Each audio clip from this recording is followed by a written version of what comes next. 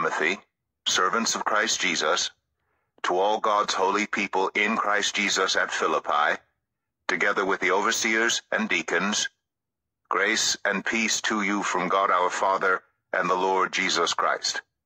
I thank my God every time I remember you.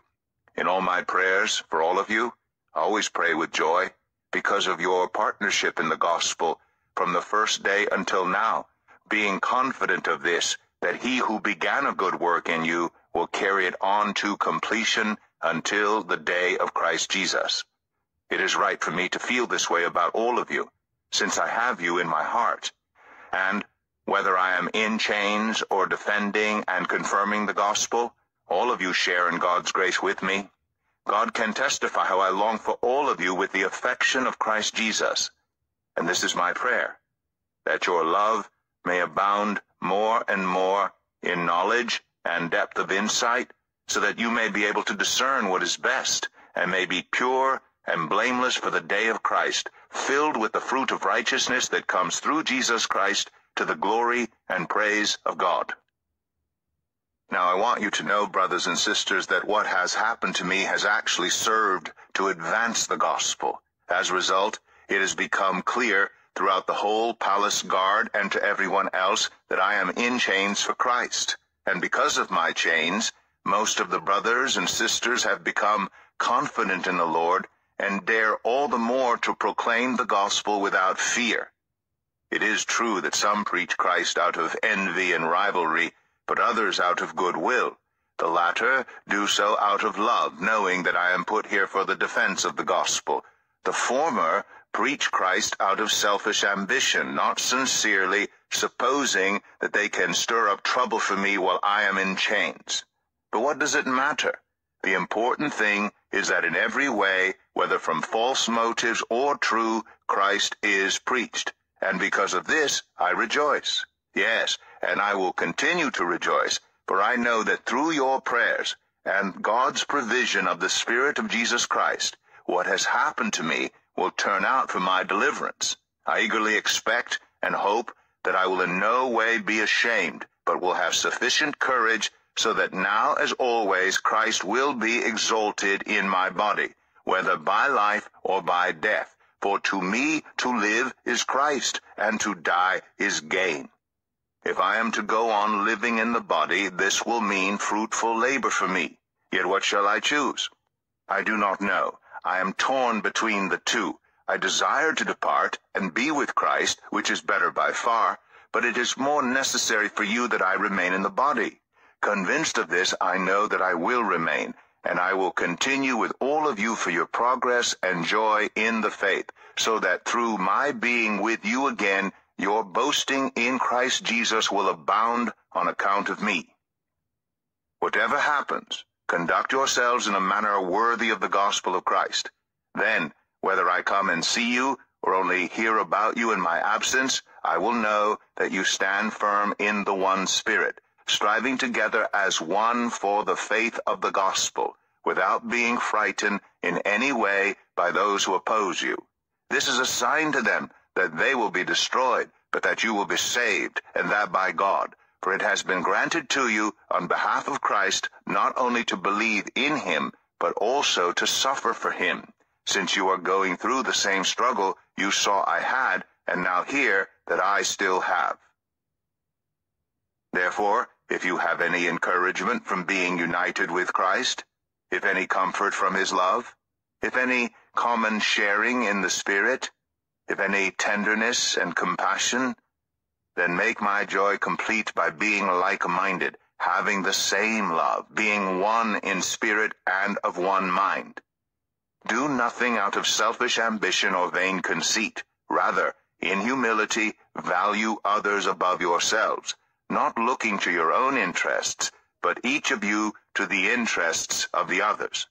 In your relationships with one another, have the same mindset as Christ Jesus, who, being in very nature God, did not consider equality with God something to be used to his own advantage. Rather, he made himself nothing by taking the very nature of a servant, being made in human likeness, and being found in appearance as a man.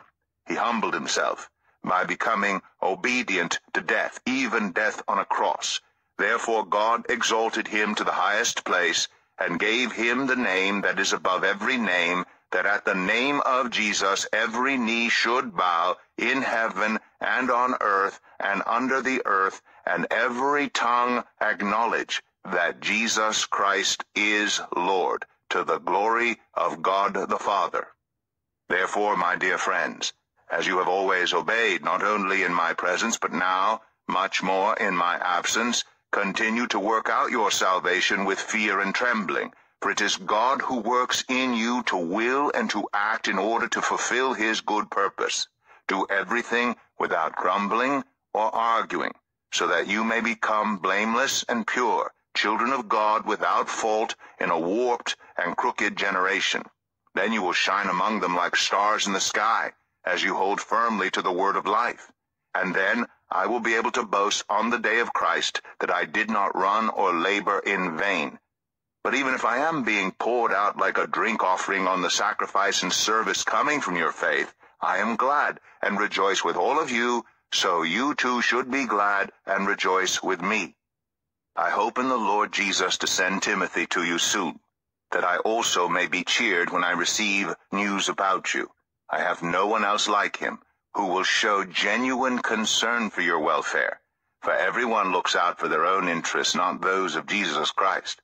But you know that Timothy has proved himself, because as a son with his father, he has served with me in the work of the gospel. I hope therefore to send him as soon as I see how things go with me, and I am confident in the Lord that I myself will come soon. But I think it is necessary to send back to you Epaphroditus, my brother, co-worker, and fellow soldier, who is also your messenger, whom you sent to take care of my needs for he longs for all of you, and is distressed because you heard he was ill. Indeed, he was ill, and almost died. But God had mercy on him, and not on him only, but also on me, to spare me sorrow upon sorrow. Therefore, I am all the more eager to send him, so that when you see him again, you may be glad, and I may have less anxiety. So then, welcome him in the Lord with great joy, and honor people like him, because he almost died for the work of Christ. He risked his life to make up for the help you yourselves could not give me. Further, my brothers and sisters, rejoice in the Lord.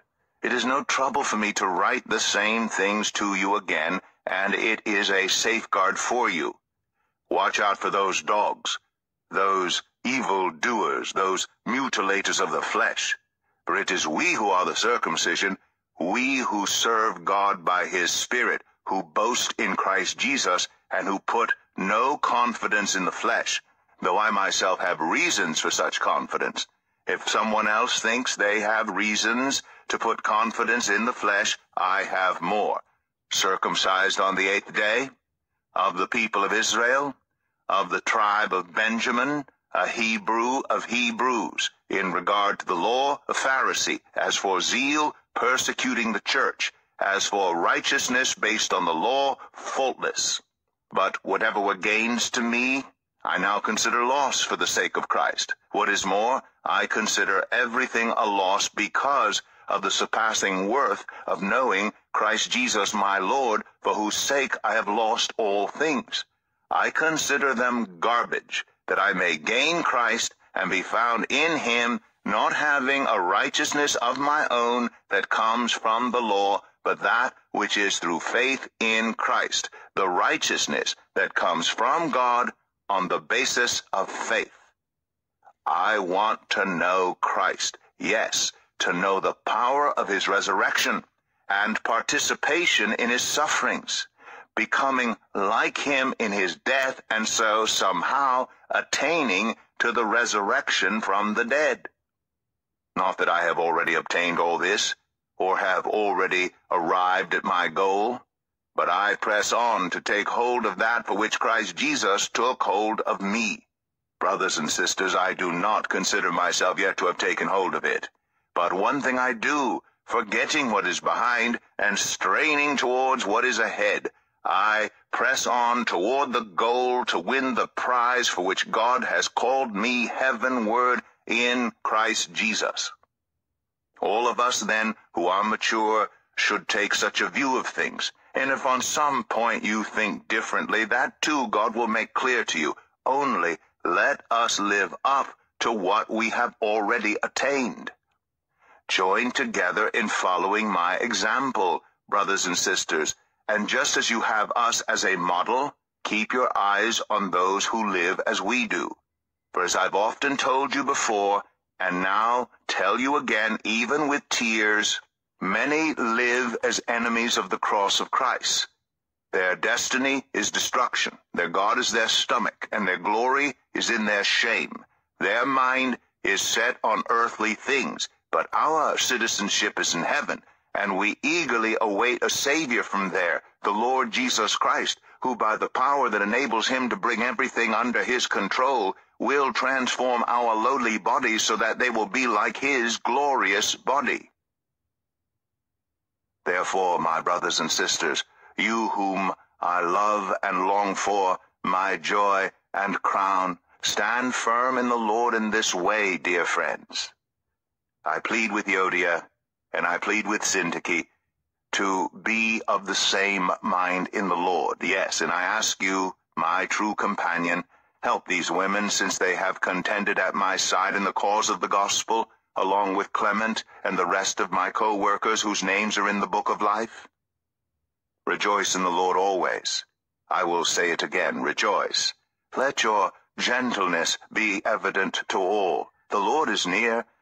Do not be anxious about anything, but in every situation by prayer and petition with thanksgiving, present your requests to God, and the peace of God, which transcends all understanding, will guard your hearts and your minds in Christ Jesus. Finally, brothers and sisters, whatever is true, whatever is noble, whatever is right, whatever is pure, whatever is lovely, whatever is admirable, if anything is excellent or praiseworthy, think about such things. Whatever you have learned, or received, or heard from me, or seen in me, put it into practice, and the God of peace will be with you. I rejoice greatly in the Lord that at last you renewed your concern for me. Indeed, you were concerned, but you had no opportunity to show it. I am not saying this because I am in need, for I have learned to be content, whatever the circumstances. I know what it is to be in need, and I know what it is to have plenty. I have learned the secret of being content in any and every situation, whether well-fed or hungry, whether living in plenty or in want. I can do all this through him who gives me strength. Yet it was good of you to share in my troubles. Moreover, as you Philippians know, in the early days of your acquaintance with the gospel, when I set out from Macedonia, not one church shared with me in the matter of giving and receiving, except you only. For even when I was in Thessalonica, you sent me aid more than once when I was in need. Not that I desire your gifts. What I desire is that more be credited to your account. I have received a full payment, and have more than enough. I am amply supplied, now that I have received from Epaphroditus the gifts you sent. They are a fragrant offering, an acceptable sacrifice, pleasing to God. And my God will meet all your needs according to the riches of his glory in Christ Jesus. To our God and Father be glory forever and ever. Amen. Greet all God's people in Christ Jesus. The brothers and sisters who are with me send greetings. All God's people here send you greetings, especially those who belong to Caesar's household. The grace of the Lord Jesus Christ be with your spirit. Amen.